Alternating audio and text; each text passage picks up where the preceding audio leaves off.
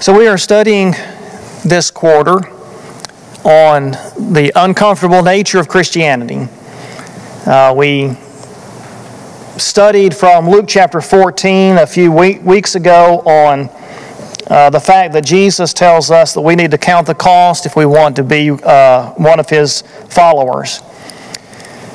And so we've looked at different things about Christianity that are uncomfortable, and tonight we're going to look at the challenge of the uncomfortable love. What a great topic to talk about in the middle of a uh, politically divisive time in our country. Turn to, to uh, the Gospel of John, chapter 15. Gospel of John, chapter 15.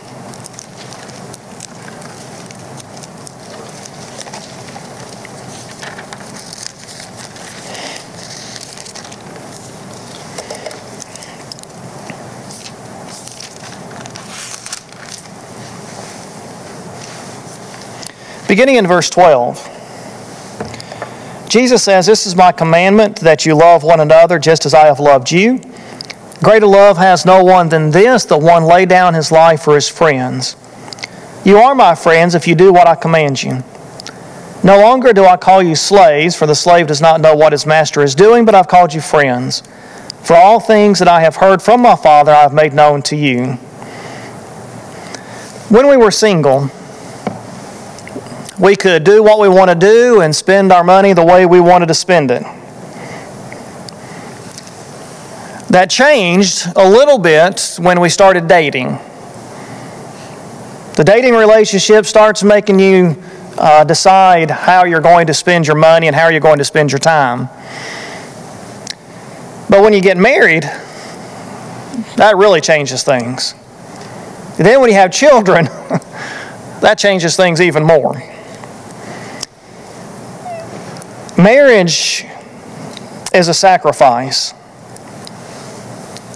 And on a regular basis, we have to ask ourselves do I want to have a happy marriage or do I want to serve myself? Because we can't necessarily do both. Marriage is about putting the other person first, it's about sacrifice, it's about the cross. Love found its ultimate expression in Jesus Christ, who sacrificed himself for our sake. He traded his home in heaven for a fragile human form. And when Jesus was on earth, he endured shame and ridicule, torture, and death in our place because he loves us everybody and his brother can quote John 3:16. There's a lot of atheists that can quote John 3:16. I want us to look at 1 John 3:16. The first letter of John, chapter 3, verse 16. In John's letters, especially 1 John, he also deals with Jesus' statement about love. But he also sends the discussion in a different direction. 1 John chapter 3 and verse 16. We know love by this that he laid down his life for us. That's John 3:16. And we notice that the last part of that verse, we ought to lay down our lives for the brethren. There is a a challenge there that Jesus holds out to us to be self effacing, to be other serving, to be sacrificial. And that's the, that's the central idea of Christian love to serve the other person. And this quarter, we're talking about counting the cost. And when Jesus calls us to be his disciple, he also calls us to serve one another. And that can be uncomfortable because it doesn't lead to a life that is glamorous. It leads to a life that is dirty. It leads to a life of sacrifice. It leads to a life often spent on our knees cleaning feet. And that's the core idea, but it applies in different ways as we live our lives. And so tonight I'm going to focus on four uh, aspects of this uncomfortable love that Jesus calls us to. This love that is countercultural, this love that is self giving, that is perfectly embodied in the nature of Jesus Christ, in His work, in His life, but it's also in His teachings. So, love is a commitment. In our modern culture, love is pictured as this touchy feely, emotional kind of thing, having butterflies in your stomach. I had a friend in college who referred to it as chemistry. He dated this young lady, fine Christian young lady, and um, he decided not to pursue it anymore because there wasn't any chemistry between them. That was his word. In the Old Testament, God chose Israel. He chose Israel to be the, the avenue by which his son became man, family of Abraham. And the Israelites were not faithful to God's promise. They were not faithful to God's covenant. And yet God continued to work with them. Isaiah the prophet pictures God as a faithful bridegroom to a bride that was unfaithful. And time and time again, the nation of Israel walked away from God, and they walked away from the commitment that they had made to God uh, into an idolatrous relationship with gods around them, which the prophets, especially Hosea with his wife Gomer, the prophets picture as an adulterous relationship. And yet God still walked with them in a very gra- graphic text, uh, Ezekiel chapter 16. And it's, it's graphic enough to where I would be a little embarrassed to read the whole chapter uh, to an audience that had little children in it.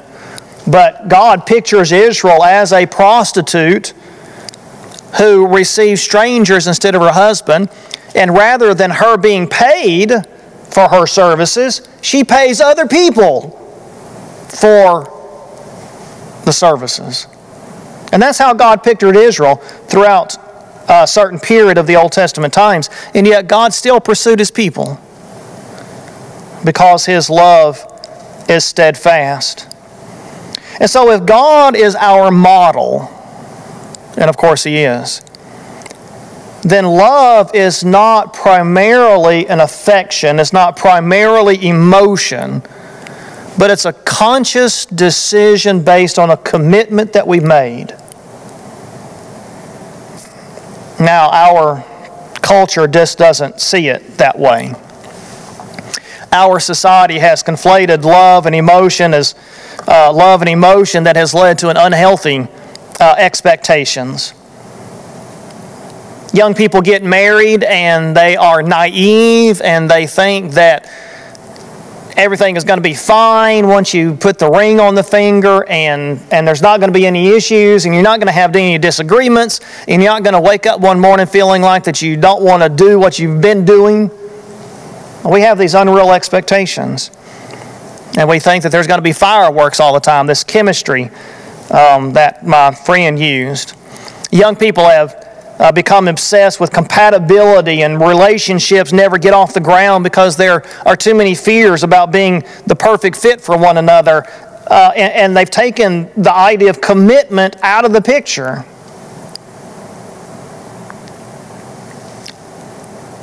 Society today dislikes the idea that love is learned as a result of commitment. How much have we learned about the idea of commitment because of our marriages, our relationships. It means you don't walk away. I asked this question last week, week before last. What good does it do me to acknowledge and accept Rachel's weaknesses, Rachel's flaws? What good does it do me? And among the answers are it teaches me humility, it teaches me to, to uh, recognize that I've got my own flaws. The notion that a relationship's longevity depends not on emotional vitality but on unflinching commitment is often distasteful. And that's why a lot of people, uh, a lot of Christians, or those who claim to be Christians, see nothing wrong with divorce. Well, if you want to get a divorce, that's fine. Well, they happen, that, that happens in Hollywood all the time, doesn't it? You've got a marriage that lasts 30 days. And this couple says, Well, we're not compatible. That's what they usually say. We're not compatible. So we walk away from the commitment. Penny? I worked with someone who was married less than a year. They got married last December, got divorced in September. Yeah. I was shocked, absolutely shocked. Yeah. And it's this, it's this consumerism mentality that we have as Americans that see a marriage relationship as disposable, just like plates and cups and forks and spoons and knives. Rachel's youngest brother was married for, I think, three months. His wife walked out on him. If love is an emotion, then it can come and go, just like emotions do. Well, I fell out of love with them. And we hear that a lot. And that, mean, that shows that there's no commitment there. And the uncomfortable principle at the core of all of this is that love requires sacrifice. Turn to Mark chapter, that should be Mark 10. Turn to Mark chapter 10. Now, as you know, if you were here this past Sunday, my first Sunday of the month sermon series is going to come from the Gospel of Mark, and I'm going to spend a whole sermon on Mark chapter 10, 1 through 12, because if we want to live a well lived life, then we need to recognize what Jesus teaches on marriage and divorce. But it's, it's very plain. It is absolutely plain what, what the scriptures teach on marriage and divorce. I want to pick up actually with verse 2. Some Pharisees came up to Jesus, testing him, and began to question him whether it was lawful for a man to divorce a wife. And he answered and said to them, What did Moses command you? Notice the response Jesus always gives. What does Moses command? When people ask us Bible questions, we ought to respond the exact same way. What does the Bible say? Instead of sharing our ignorance, we should say, What does the Bible say? They said Moses permitted a man to write a certificate of divorce and send her away. Jesus said to them, Because of your hardness of heart, he wrote you this commandment. But from the beginning of creation, God made them male and female. For this reason, a man shall leave his father and mother, and the two shall become one flesh, so that they are no longer two, but one flesh. What therefore God has joined together, let no man separate. So Jesus just reiterates what happened in the Garden of Eden in Genesis chapter 2. In the house, the disciples began questioning him about this again, and he said to them, Whoever divorces his wife and marries another woman commits adultery against her. And if she herself divorces her husband and marries another man, she is committing adultery. And that's, that's almost it. Now, Matthew includes, in Matthew 5, verse 32, Matthew 19, 9, if you want to write down those verses, Matthew includes one exception to remarrying, and that's if the divorce is for sexual immorality. The innocent person can remarry, the, the guilty person cannot. So that's what Jesus teaches, and, and that's, that's easy enough to understand. That's plain. And love cannot survive on the basis of emotional satisfaction. Love is a covenant, it's an agreement to be committed. And it requires faithfulness even when we're not feeling like it, even when our heart is not in it. So, a single young man might feel restless in his community and be tempted to abandon it for a new job or opportunity across the country. But for the sake of a commitment based love for his friends, he decides to stay. A teenage girl feels frustrated about her parents and is tempted to break the rules they've established, but her commitment based love leads her to honor her parents instead of walking away. A mom might dream of saving money and launching her own business, but her commitment based love leads her instead to use that money to pay for her son's college tuition. Now, the examples that we could give are as varied as our own situations. Love is a commitment, and that makes it uncomfortable. Secondly, this love that Christ calls us to does not insist on its own way. Al. My question is, to get back to where you just ended, is I've often wondered in today's times, all the physical abuse that say women go through is, you know, it's hard to imagine, you know, God not allowing a divorce in that case where the woman is just being abused. So I, I've never been able to quite reconcile that with, with the scripture. Okay. Um, two things. One is we always have to be careful saying, I can't imagine God, dot, dot, dot. This book right here is the only insight we have into how God thinks. And if we can't point to a book, chapter, and verse, then we have, we have no basis of believing God believes anything else. That's the first response. The second response is 1 Corinthians chapter 7, verses 10 and 11, if you want to write those two verses down. 1 Corinthians 7, verses 10 through 11. Paul says that, that if, uh, if a divorce happens, then the man or the wife should be reconciled to their spouse or remain unmarried. So if a woman is being abused or if a man is being abused, they might leave that relationship for the sake of their own health, but that doesn't give them a right in God's eyes to enter into a second marriage. So you combine 1 Corinthians 7 verses 10 and 11 with Matthew 5 32 and Matthew 19 9, and you've got you still have only one reason to end a marriage and begin a second marriage. But in a situation like you've described, they might end that marriage, but they don't have God's permission to enter a second marriage. Anything beyond that, we are assuming authority that we don't have. All right? Good question. Very relevant question.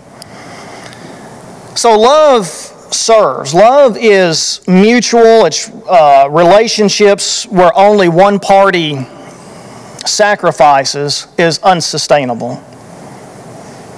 So, in a marriage relationship, just use as an example, we don't talk about a husband gives 50%, a wife gives 50%, because that's not how marriages work. That's not even how relationships work. Friendships don't work that way. Because if there are times where a friend is having a bad day, we may have to go above and beyond in order to be patient with them. Obviously, that is true in a marriage relationship. So I have to give 100% of myself to Rachel. Rachel gives 100% to me. And there are often times where we can't give 100% because of whatever's happening uh, during our day. But love at its, at its best only works when each person gives more than each takes. I am doing some uh, counseling right now, and I told uh, the person that you can't keep giving emotionally without receiving emotionally. That's a parasitic relationship. And that's not what marriage is about. But the kind of service that Christ calls us to might look like weakness to the world. But weakness in the eyes of Christ is a strength. When we are willing to be vulnerable to our friends and to our family, and we're willing to serve. And one way we can embody that radical nature of serving others that Christ calls us to is by truly being present in the lives of others and giving them our all. For example, if we're in a conversation with someone, then we are not distracted. Turn off our cell phones. Now, I'm talking to the wrong generation when I say that, but we turn off our cell phones so we can give the other person our undivided attention. And we exercise humility by being good listeners, by being quick to hear and slow to speak listening to what somebody else has to say through the whole thing instead of trying to think about how we're going to respond before they're finished talking. This is love that served, that serves, and it's a love that sometimes it finds itself being inconvenienced. Sometimes I get called in, in, the office and somebody wants something or needs something, and I'm thinking to myself, wow, I've, I've got a Bible class to prepare, I've got a sermon to write, I don't want to get out of my chair. Sometimes I do, and sometimes I don't. Because it's not always easy to serve that way. Sometimes just being hospitable can be, can be inconvenient. But love was not intended to be hidden. In fact, you might even suggest that love can't be hidden. It's going to be visible because it serves. And when love is outward focused, with a mission beyond itself, then love flourishes. That's the nature of love. And going back to our marriages, and the same thing would be true for friendships. It's not for us. My marriage to Rachel is not primarily for us, it's for Christ. Her relationship to me and my relationship to her ought to be directed towards glorifying Christ, which means it's not about me. And our friendships ought to be the same. So, love serves. Number three, love also pushes us towards hospitality. And by this, I really mean that love does not how did I word it? Love is not enabling. That's what I was looking for. Love is not about enabling somebody else to engage in a sinful behavior, a self destructive behavior. Love sometimes disciplines. Love sometimes speaks the truth when the other person might not want to hear the truth. I was writing our Bible study from Hebrews chapter 12 for the Lads to Leaders Hold Firm study this afternoon in the office. And I was looking at Hebrews chapter 12, verses 1 through 7, where the Hebrew writer talks about the fact that God, lo- God disciplines the one he loves. God disciplines the one he loves. So love pushes us towards, um, I should have put holiness, not hospitality. Love pushes us towards holiness. And that is living right based on God's Word. Sometimes love hurts, as the Hebrew writer says. In fact, let's look at Hebrews chapter 12.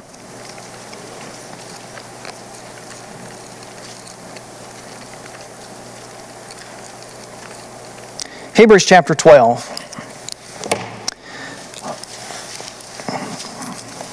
Let's begin reading it at uh, verse 4.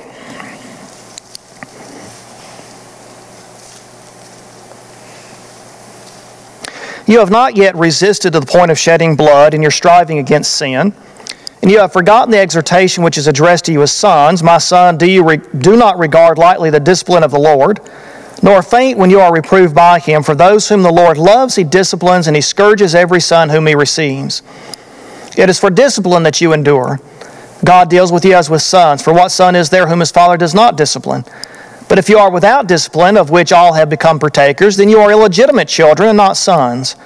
Furthermore, we had earthly fathers to discipline us, but we respect and we respected them. Shall we not much rather be subject to the Father's spirits and live? For they disciplined us for a short time as seemed best to them, but he disciplines us for our good so that we may share his holiness. All discipline for the moment seems not to be joyful but sorrowful. Yet to those who have been trained by it afterwards, it yields the peaceful fruit of righteousness. So here the Hebrew writer is speaking in broad general terms about the purpose of, of discipline. And he says here specifically that the Lord disciplines us in order to make us righteous. The Lord disciplines us in order to bring about righteousness. That's the end of verse 11. So love hurts sometimes because love does not sit idly by while someone we love injures themselves. And I'm talking spiritually speaking. Let's look over at, John chapter 8.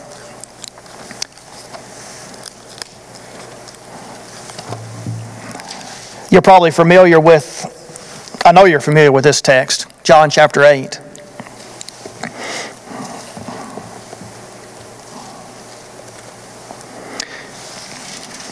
Jesus went up to the Mount of Olives. Early in the morning, he came again to the temple, and all the people were coming to him, and he sat down and began to teach them. The scribes and the Pharisees brought a woman caught in adultery, and having set her in the center of the court, they said to him, Teacher, this woman has been caught in adultery in the very act. Now, in the law of Moses, now in the law, Moses commanded us to stone such women. What then do you say? And let me stop right here. What is wrong with the, the Pharisees' approach, with the Pharisees' statement?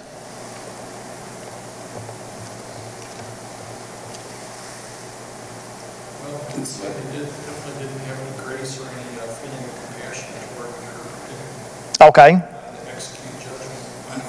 All right. No grace, no mercy, no compassion. Uh, Marvin, I'll just say, it's not complete. how is it not complete? It's not complete because they brought a woman since she was caught in the act of adultery, and if there was a man with her, he was supposed to be stoned also, and he wasn't there. Yeah. Yeah, the law of Moses commanded both of them to be stoned. And there's only the woman. Which suggests, based on uh, uh, what uh, Gordon had said, their motivation was impure to begin with. Anytime we obey the Bible, anytime we obey God, if we're doing it with the right motives, it's in order to glorify God they're not wanting to glorify God here because they're not obeying the law of Moses. They're picking and choosing what they're wanting to do because fundamentally they're wanting to trap Jesus. That's their motivation. Jesus is very popular with the people, and nobody wants to stone a woman to death, and so they're wanting to trap Jesus and make him unpopular with the people. And John tells us that in verse 6. They were saying this, testing him, so that they might have grounds for accusing him. Jesus stooped down with his finger and wrote on the ground. Now, what did he write? we have no idea. One of the great mysteries of scriptures. Let me ask you this why did he write on the ground? Obviously, this is also speculation, but what, what do you speculate? Why did he write on the ground?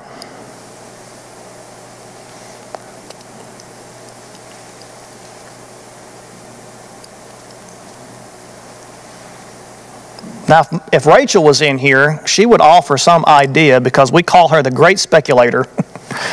she always speculates about everything. Marvin? I speculated at times that he said he was writing grace. Okay.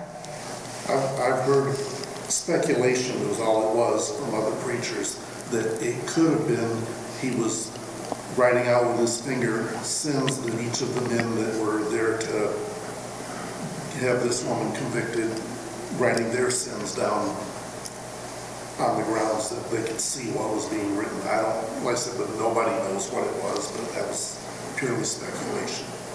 Hosea 6, verse 6 I desire mercy and not sacrifice. Now, we don't know. We don't know why he did it. I, I think there's a reason why, uh, and that's the reason why John writes it in here, but God didn't see fit to tell us why. But it does force them, verse 7 says it forces them to persist in asking him. And so he at least is building up suspense, if nothing else.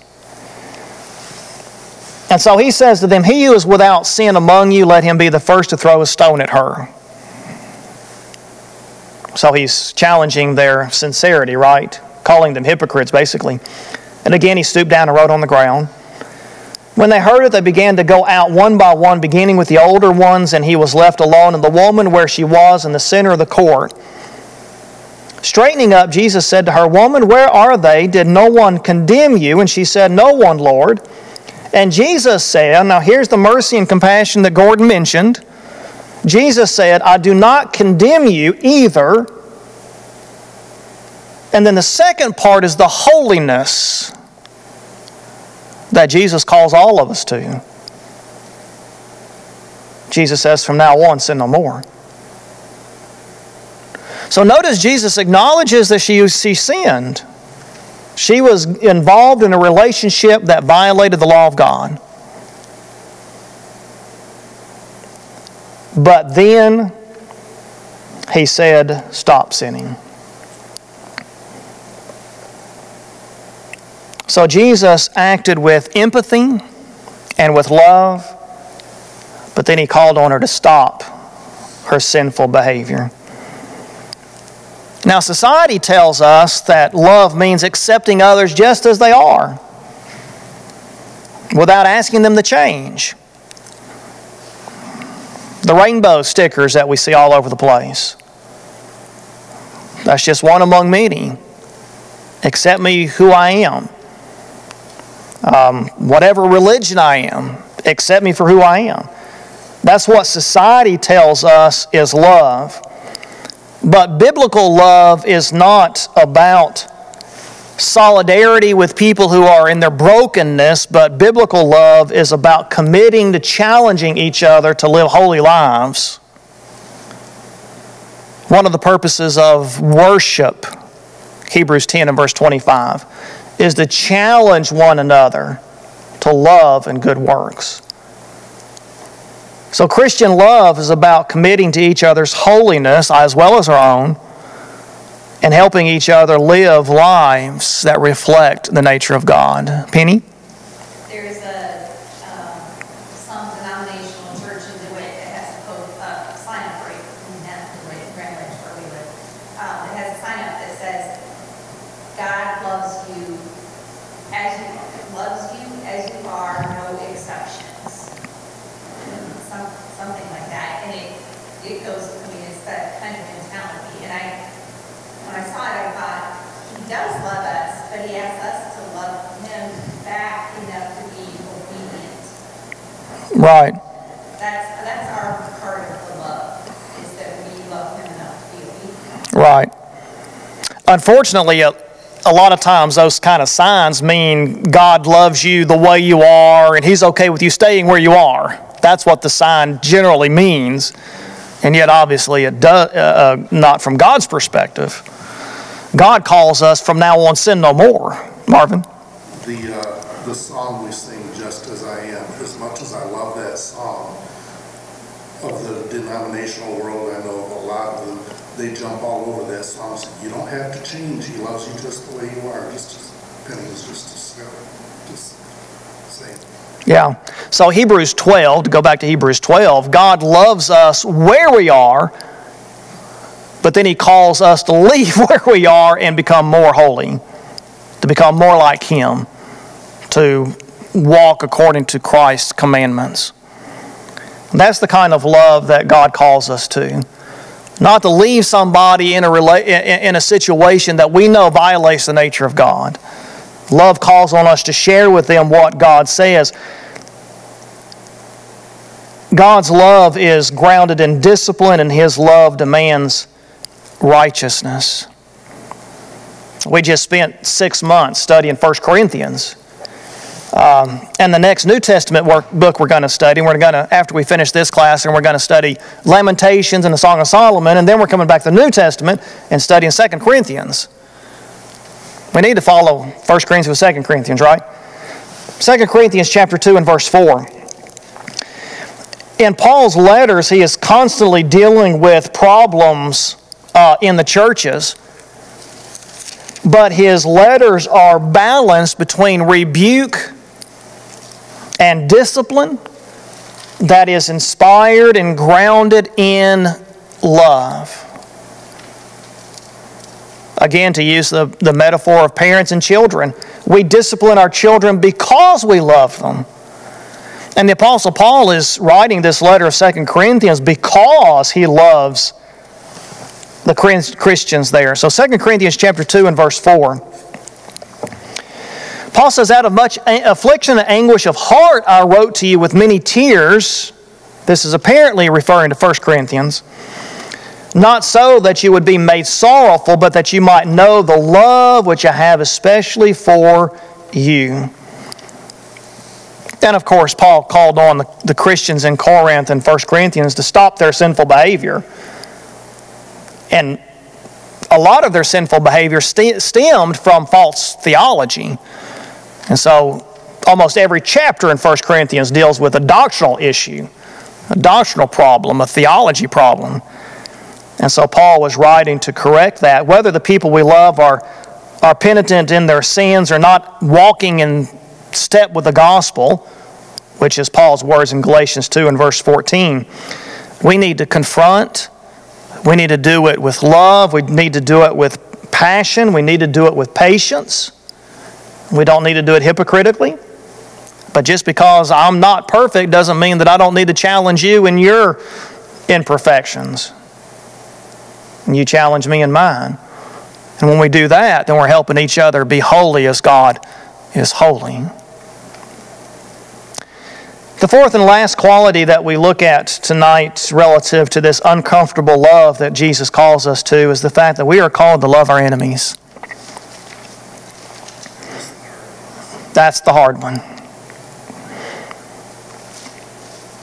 God doesn't love us because we're lovable. Now, quite honestly, I am lovable.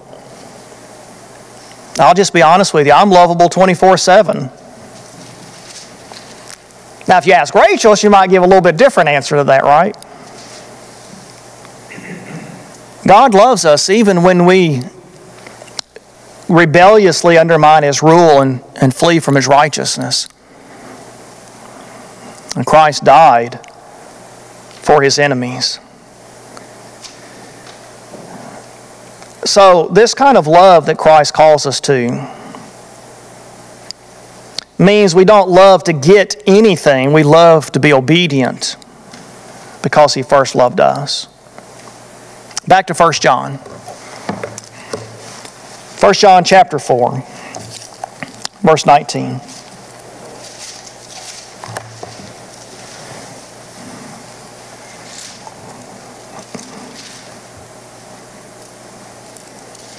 First John 4, verse 19, we love because he first loved us. Doesn't Jesus teach us that we forgive because he first forgave us? Doesn't James tell us that we are merciful because he was first merciful with us? So, love calls us to action. Love calls us to serve our neighbors. Love calls us to wash our friends' feet. Love calls us sometimes to hang out with sinners. Love does. And that costs us. And of course, as Marvin pointed out, the hard part is doing these things for people who don't like us. It's a whole lot easier for me to serve people that like me. It's a whole lot easier for me to serve people who serve me it's a whole lot harder to put the ear, on a man who came to arrest me. Who am I talking about?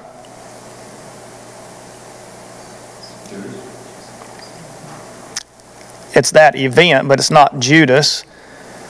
Jesus put the ear back on Peter, cut off the soldier, the ear of the soldier Malchus, John tells us, I believe it was John tells us the name of the servant of the high priest. So he comes out to arrest Jesus. Peter cuts his ear off. A good suggestion is Peter was aiming for the neck. And Jesus puts the man's ear back on, who came out to arrest Jesus. Matthew chapter 5 and verse 44. Love your enemies and pray for those who persecute you.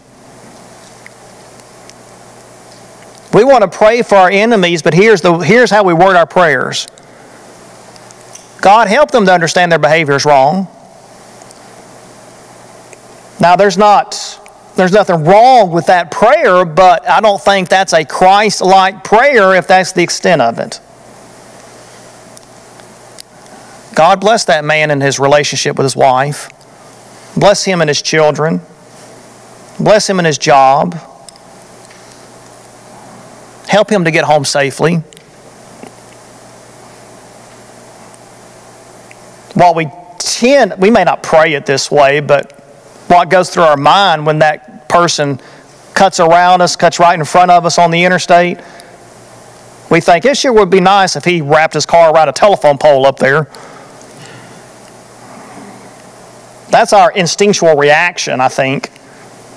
rather than saying, I pray he gets to his destination safely.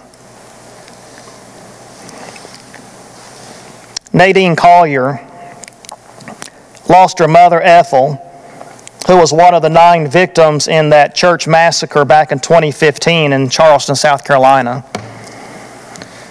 She was given a chance to address her mother's killer, uh, killer and Collier choked back tears as she forgave him. She said, You took something very precious away from me. I will never get to talk to her ever again, but I forgive you and have mercy on your soul. If God forgives you, I forgive you. My sermon Sunday morning is going to is titled Praying for Justice coming from Psalm 7. I preach from six Psalms in the year. April, we start our seventh year here at Swartz Creek, and so I start off with Psalm 7. The closer I get to Psalms 25, the closer I get to retirement. Because my last year here will be Psalms 25, Psalms 50, Psalms 75, Psalms 100, Psalms 125, Psalms 150. That will be the six Psalms I preached my last year here. Praying for justice. Psalm 7, among other passages, teach us to leave justice in the hands of God. We are to love our enemies and pray for those who persecute us. This type of love calls on us to clothe the naked and feed the hungry and welcome the stranger and minister to those who are sick and the imprisoned. And that, of course, would include our enemies. That would include people that are not on our Christmas card list. I am not for open borders, but we need to love our immigrants. We need to serve those who need to be served. It is so very important, even in this highly charged political environment that we're in, that we love our political opponents. Matters that we disagree on from a political perspective, we ought to be able to disagree about those without losing our Christianity. If we were taught that you never talk about politics and religion, we were taught wrong we ought to be able to talk about politics and religion without losing our Christianity. We should be able to respect somebody and respect their viewpoint. I heard somebody say not too long ago, I can't understand why somebody would vote for dot, dot, dot. If we can honestly say, I don't know why somebody voted for the other person, we're not listening to the other person. And that's a shame on us. I ought to be able to verbalize, I understand why somebody voted for that person. I disagree with them, but I can understand why they did it. If I can't say that, then I'm not listening. And the uncomfortable nature of love calls me to listen. Now, early Christians were characterized by this sort of love. I'm talking about from the New Testament times on for about the next 300 years. Early Christians were known for their love for one another and for their pagan neighbors. I've given you this quote before, at least twice before, because it was in two separate sermons, and somebody reminded me that I used that in a prior sermon. But a pagan emperor of Rome observed that it was Christians' benevolence to strangers and the fact that the impious, notice he calls them impious Galileans, he's referring to Christians, support not only their own poor, he says, but ours as well. Christians in the early centuries of the Roman Empire were putting the pagans to shame because the Christians were taking care of the pagans sick. Well, guess what that caused? It caused the pagans to leave the Roman paganism and become Christians, followers of Jesus Christ. And we sing that song, may they know that we are Christians by our love. Not because we are great, because the love of Christ compels us. That's 2 Corinthians chapter 5 and verse 14. Anybody have any thoughts or comments or questions that you'd like to add to our discussion tonight? I had a question about forgiveness. Yes. Um, In a group of men's was with about two weeks ago, we have a gentleman that his brother wronged him years ago in a business. And although the brother evidently conveyed to other family members that there was remorse there, he never actually has come to this man and said, I'm sorry. And in the discussion, he said, I, I've forgiven him. And I said, have you really? Because you're still waiting for the apology before you reconcile and have a relationship, a normal relationship again.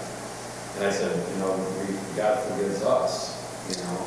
But then after the meeting, I started thinking to myself, well, God forgives us, you know, if we repent and like don't sin again. Um, and I know, I don't know where the scripture is, maybe you know where it is, discusses, it says, you know, you can forgive if the other person, I don't remember what the term was, but they had to basically ask for forgiveness before you can forgive them.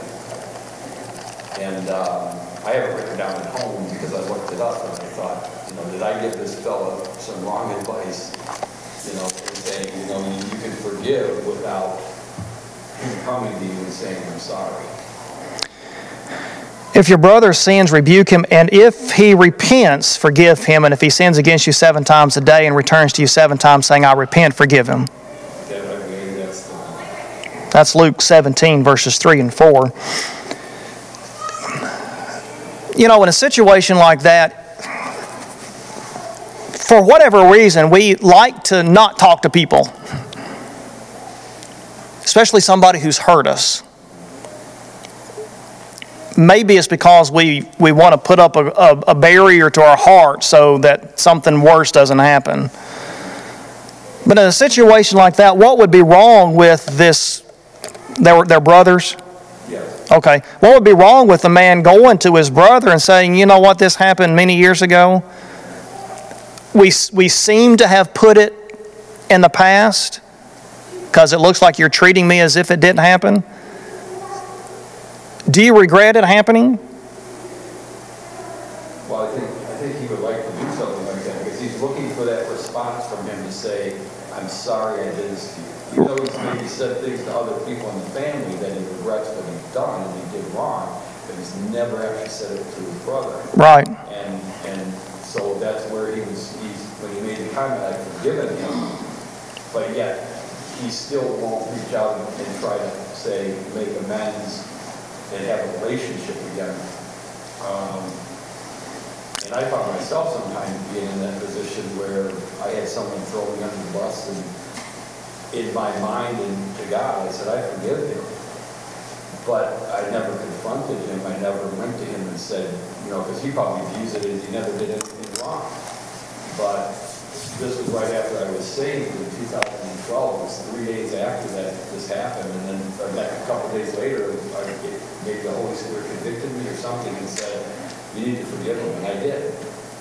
I mean, I, he never said anything to me to say I'm sorry or anything. I just said, I forgive him. And I was, I was lifted, lifted off of me, and I just was able to move on and not have any animosity or anything. It goes back to the very first point that I was that I made, and that is love is a commitment. If I've got a relationship with you, if I got a, a friendship with you, and I'm committed to that friendship, then I don't want anything on the outside affecting that friendship. And so, if I've done something to the friendship, or if you've done something to the friendship to affect that relationship, then I should come to you and say, hey, we've got some issue here that's affecting this relationship between us. Now, I have to have the humility to recognize that I may have misunderstood what you said or what you did. I have to have the humility to say, you know what, I was wrong. I perceived it wrong. You did something to me and I thought it was a bad thing, but as I have, have as you've explained it to me, I see where it wasn't. It's a misunderstanding or whatever. But I think that's what he needs to do is go to him and say, hey, we've got this issue that's, that's, that's not resolved yet. And maybe all it takes is him saying, I'm sorry. That's, that- that's what he's looking for. Yeah. But I think he needs to go to him and say, I'm looking for that. I'm looking for you to, to verbally express some regret that this has happened. And then he's going to have to deal with it. Well, I'm just saying, he's still, in in God's eyes, can he still forgive his brother? Even though his brother never came to him and said, I'm sorry for what I've done? He can. He can treat him as if it never happened. Now, ultimately, forgiveness is in the mind of God. If, if the man never does anything to be forgiven, then God won't forgive him. But the brother could treat him as if he hasn't done anything, and he's going to have to deal with his relationship with God on a separate issue. But he can, he can um, treat him positively and, and lovingly. And I think that's kind of the approach that I took, it was actually my boss that did that to me. And I didn't need him to say, I'm sorry for what I did the other day. Right. I just felt that day, it came over me, I need to forgive him because I'm the one who's in prison for this. hmm I'm the one who's tormented over this. He's not. He didn't, he maybe doesn't think he did anything wrong. So I was the one who really suffering from it, and that's when I felt I could let it go and, and just say, you know, without verbally saying to him, I forgive you, I did forgive him for what happened, and our relationship continued on. on. Sometimes people show by their behavior that they're sorry. They may not verbalize it, but their behavior shows it. We ought to verbalize it. We should. But for whatever reason, sometimes we don't. Our, our mission intern has written a little small commentary on Nahum, the minor prophet. Um, you could order them from Amazon. I would, actually, I would encourage you to go to his, his blog, gospeltraveler.com, and order his commentary uh, if you would like uh, from his, it's 42 pages. It's a little commentary on the minor prophet Nahum. Uh, and all the money that he gets goes into a fund that he's using to set aside to do mission work. So it's a neat way of supporting his desire to take the gospel of Christ overseas. So gospeltraveler.com if you'd like to order a copy of his commentary. Glad to see everybody tonight. We are dismissed.